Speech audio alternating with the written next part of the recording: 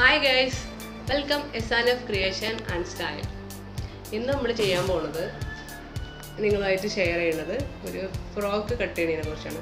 കുറച്ച് മുമ്പ് എയർലൈൻ ചുരിദാറിന്റെ ഒരു വീഡിയോ ഞാൻ ഇട്ടിരുന്നു. അത് കട്ട് ചെയ്യുന്നത് മാത്രമേ ഇട്ടിട്ടുണ്ടായിരുന്നുള്ളൂ. ആ പീസിന്റെ ബാക്കി ആ ചുരിദാറിന്റെ ഒരു ഫ്രോക്കാണ് ചെയ്യുന്നത് സെയിം ഒരു ക്ലോത്താണ് അതായത് മമ്മി ആൻഡ് മീ എന്ന് പറഞ്ഞിട്ട് ഒരു സീരീസ് ആണല്ലോ. അപ്പോൾ മദർ ഏത് ഡ്രസ്സാണോ ഇടുന്നത് അതേപോലെ തന്നെ കുട്ടിക്കും അതിന്റെ പീസ് കൊണ്ട് ഡ്രസ്സ് ചെയ്യുന്ന ഒരു ട്രെൻഡ് ഇറങ്ങിയിട്ടുണ്ട്. അപ്പോൾ അതുപോലെ ഈ ആ ക്ലോത്ത് കൊണ്ട് ഇതായിരുന്നു ആ ക്ലോത്ത്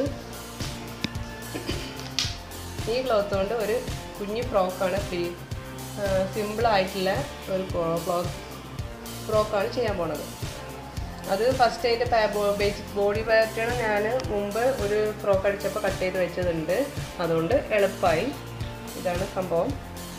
ഇത് വെച്ചിട്ടാണ് പിന്നെ നമ്മൾ ചെയ്യുക ഏത് ഏത് ഡ്രസ്സ് ചെയ്യുമ്പോഴും ഒരു പാറ്റേൺ ആദ്യം ഉണ്ടാക്കിയിട്ടുണ്ടെങ്കിൽ പിന്നെ അത് വെച്ചിട്ട് നേരെ അതേ അളവിന് എല്ലാം മാറ്റം വരുത്തണമെങ്കിൽ ഇപ്പോൾ തടി കൂടിയിട്ടുണ്ടെങ്കിൽ ആ പാറ്റേണിൽ ഇത്തിരി മാറ്റം വരുത്തിയാൽ മതി. അപ്പോൾ നമുക്ക് ഡ്രസ്സ് പെട്ടെന്ന് അളവെടുക്കലും കാര്യങ്ങളൊന്നും ചെയ്ത് ചെയ്യേണ്ട ആവശ്യമില്ല. അപ്പോൾ ഇതുപോലത്തെ ഒരു ഫ്രോക്കാണ് അവർ ഉദ്ദേശിക്കുന്നത് പ്രത്യേകിച്ച് ഒരു സംഭവം ഇല്ലാതെ പ്ലെയിൻ ആയി സിമ്പിൾ ആയിരിക്കണം എന്നുള്ളതാണ് പറഞ്ഞിട്ടുള്ളത്.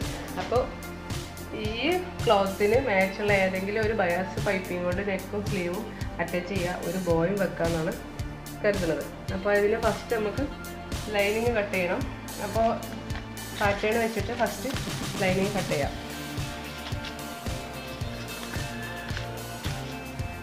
ഇതാണ് പാറ്റേൺ രണ്ടേ മുക്കാൽ ഇഞ്ച് ഷോൾഡർ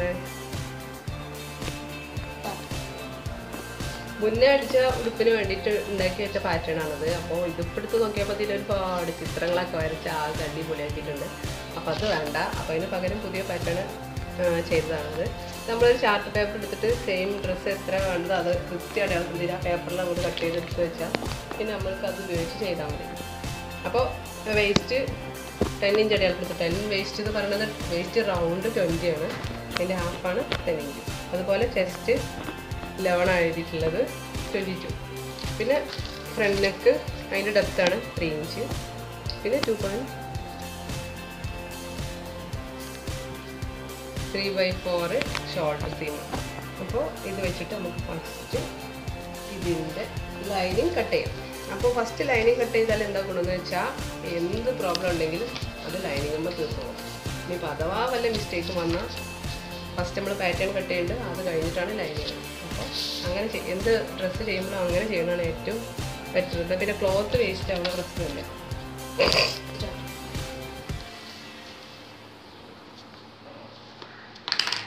അപ്പം സീം അലവൻസ് എടുത്തിട്ടുള്ള പാറ്റേൺ ആണത്. അപ്പോൾ നമ്മൾ സീം അലവൻസ് കൊടുക്കേണ്ട ആവശ്യമില്ല.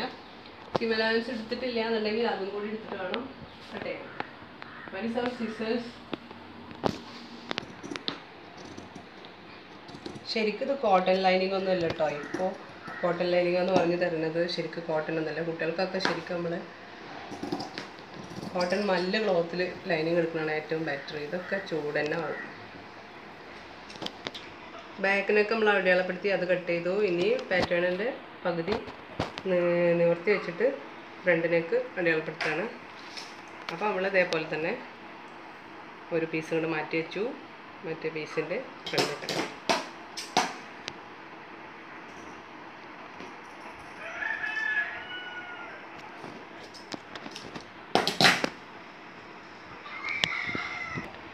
ഇവിടെ ഒരു കുഞ്ഞ് വെട്ടിട്ട് എടുക്കണം അപ്പോൾ നമുക്ക് പ്ലീറ്റ് ഇടുമ്പോൾ അത് എവിടെയാണ് ഈ പോയിന്റ് എന്ന് അറിയാൻ വേണ്ടിയിട്ടാണ്.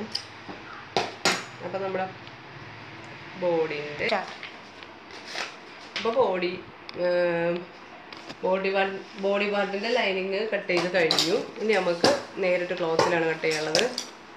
അപ്പോൾ ഇത് ഇത്ര ക്ലോത്ത് ഉള്ളൂ. അപ്പോൾ ഇതിൽ നിന്ന് എവിടെ നിന്നാണ് നമുക്ക് പ്ലീറ്റ് ഇഷ്ടം പോലെ എത്ര പ്ലീറ്റ് വേണോ അത്ര എടുക്കണം. അത്ര ഉണ്ടാവണമാണ് ഉടുപ്പിനെ സംബന്ധിച്ചിടത്തോളം നല്ലത്. എത്ര പ്ലേറ്റ് കൊടുക്കണോ അത്രയും ഭംഗിയുണ്ടാവും. നമുക്ക് ഇങ്ങനെ ഇതുകൊണ്ട് വെച്ച് നോക്കിയാൽ ഇവിടുന്ന് എവിടെ നിന്നാണ് ഇത് കിട്ടണമെന്ന് അറിയാൻ പറ്റും. ഇങ്ങനെ പേപ്പർ വെച്ച് ചെയ്യുമ്പോൾ. പേപ്പർ പാറ്റേൺ വെച്ച് ചെയ്യുമ്പോൾ. പിന്നെ മോട്ടിഫിന്റെ കാര്യം ശ്രദ്ധിക്കണം. അപ്പോൾ ഇങ്ങനെ വെച്ച് ചെയ്താൽ മോട്ടിഫ് കൊണ്ട് ചെരിഞ്ഞ് പോകും. പിന്നെ ഇവിടെ നിന്നൊക്കെ എടുക്കാൻ പറ്റും. അപ്പോൾ ഇതിന്റെ പൂവിന്റെ ഡയറക്ഷൻ മാറിപ്പോവും. ഇത്രയും പീസ് ഞാൻ പ്ലേറ്റിന് വേണ്ടിയിട്ട് ജസ്റ്റ് ഒന്ന് അടയാളപ്പെടുത്തി ഇട്ടതാണ് അപ്പോൾ ഇതിൽ കൂടുതൽ കുറച്ചും കൂടി പീസ് ഇവിടെ നിന്ന് കിട്ടുകയാണെങ്കിൽ അത്രയും കൂടി പ്ലേറ്റ് ഉണ്ടാവും. അപ്പം അതിന് വേണ്ടിയിട്ടാണ് ഇങ്ങനെ പിശുക്കി ചെയ്യാൻ പോണത്.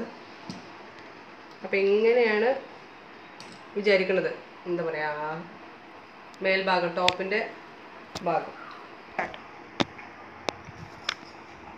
അപ്പോൾ ഫ്രണ്ട് പോർഷൻ ആണ് ഇപ്പോൾ കാണിച്ചിട്ടുള്ളത്. ഫ്രണ്ട് പോർഷൻ ആണിത്.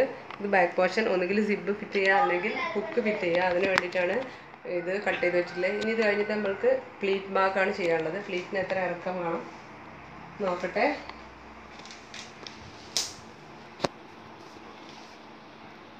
ഒമ്പതര ഇഞ്ചാണ് അത്ര ഇറക്കത്തിൽ നമ്മൾക്ക് ഇവിടുന്ന് പ്ലേറ്റ് കട്ട് ചെയ്യും. സ്റ്റാർട്ട് ഒമ്പതര ഇഞ്ചാണ് ശരിക്ക് അതിന് ലെങ്ത് ഉള്ളത്. അപ്പോൾ നമുക്ക് ഇവിടെ ഒരു ഇത്തിരി കൂടുതൽ എടുക്കണം. ഇവിടെയും. അങ്ങോട്ട് കൂടുതൽ എടുത്തിട്ട് വേണം ചെയ്യാൻ. ഇവിടെ മടക്കടിക്കള്ള ഇടണം. ഇവിടെ സീം അലവൻസ് അപ്പം എക്സ്ട്രാ ഇത്തിരി കൂടുതൽ എടുത്തിട്ടുണ്ട്. അപ്പോൾ പതിനൊന്ന് വെച്ച് കട്ട് ചെയ്യാനാണ് വിചാരിക്കുന്നത് ഓക്കെ സ്റ്റാർട്ട്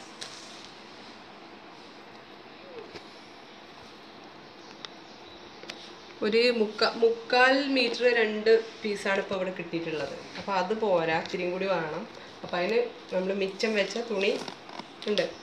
അപ്പോൾ അതുമെന്ന് ബാക്കി ആഡ് ചെയ്യാനുള്ളതും കൂടി അര മീറ്റർ ഇല്ല നാൽപ്പത് സെന്റി എൺപത് ആ ഉണ്ടാവും. അത്രയും കൂടി എടുത്തിട്ട് വേണം ചെയ്യാൻ.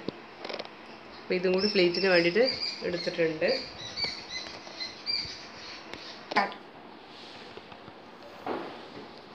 നൂറ്റിയെട്ട് സെന്റിമീറ്റർ അതായത് രണ്ട് മീറ്ററിലേറെ തുണി പ്ലീറ്റ് ഇടാൻ വേണ്ടിയിട്ട് ഇപ്പം നമുക്ക് കിട്ടി. ഇതാ ഇത് ഇതും കൂടി ആദ്യം ആഡ് ചെയ്തപ്പോൾ അത്രയും തുണി ഇട്ടിട്ടുണ്ട്. ഇനി നമ്മൾ ഞെറി ഇടാൻ വേണ്ടിയിട്ട് മൊത്തം ക്ലോത്തിനെടുത്ത് നടുമടക്കി ഇവിടെ ഒരു കുഞ്ഞി അടയാളം ഇടണം. ഇവിടെയും ഒരടയാളം.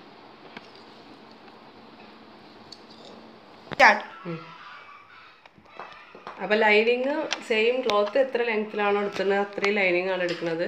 അപ്പോൾ ഒരുപാട് ലൈനിങ്ങും ക്ലോത്തും കൂടി ഉണ്ടാകുമ്പോൾ പ്ലേറ്റിനുള്ള ക്ലോത്തും കൂടി ഉണ്ടാകുമ്പോൾ നന്നായിട്ട് പൊങ്ങി നിൽക്കും. അപ്പോൾ റഫ് നെറ്റ് പ്രത്യേകിച്ച് യൂസ് ചെയ്യേണ്ട ആവശ്യമില്ല. റഫ് നെറ്റ് ഉപയോഗിക്കുമ്പോൾ അതിന്റെ അടിയിൽ പിന്നെ ഒരു ലെയറും കൂടി നമ്മൾ ലൈനിങ് കൊടുക്കണം കുട്ടീന്റെ ദേഹത്ത് ടച്ച് ചെയ്യാതിരിക്കാൻ. അപ്പോൾ ഇത്രയാണ് എടുത്തിട്ടുള്ളത്. ഇനി നമ്മൾ ഫ്രോക്കിൽ ഇത് പ്ലേറ്റ് വെച്ച് പിടിപ്പിക്കണം. അത് സ്റ്റിച്ച് വീഡിയോ പിന്നെ കാണിക്കാം. ഇത് ഈ അടയാളം കണ്ടില്ലേ? ഇത് നമ്മളിങ്ങനെ ചുരുക്കി വന്നിട്ട്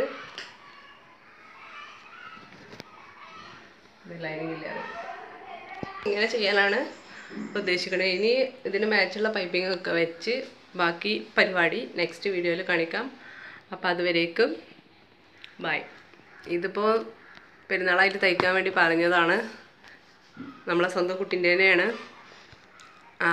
അപ്പോൾ ഏതായാലും വീഡിയോ എടുത്തിട്ട് അതും കൂടി ഷെയർ ചെയ്യാമെന്ന് വിചാരിച്ചിട്ടാണ് ചെയ്യണത്. അപ്പോൾ നെക്സ്റ്റ് വീഡിയോ ആയിട്ട് വീണ്ടും വരാം. അതുവരേക്കും ബൈ ബൈ. ഇത്രയും സമയം നമ്മളെ വീഡിയോ കണ്ടതിന് താങ്ക്സ് ലൈക്ക് ഷെയർ സബ്സ്ക്രൈബ് ഒന്നും മറക്കരുത്. എല്ലാവരും ചെയ്യുന്നുണ്ടാവുമെന്ന് വിശ്വസിക്കുന്നു. Have a nice day okay അപ്പോൾ നമ്മൾ അടുത്ത തുണി അല്ല അടുത്ത സ്റ്റിച്ച് ചെയ്യുന്ന വീഡിയോ ആയിട്ട് വരാം.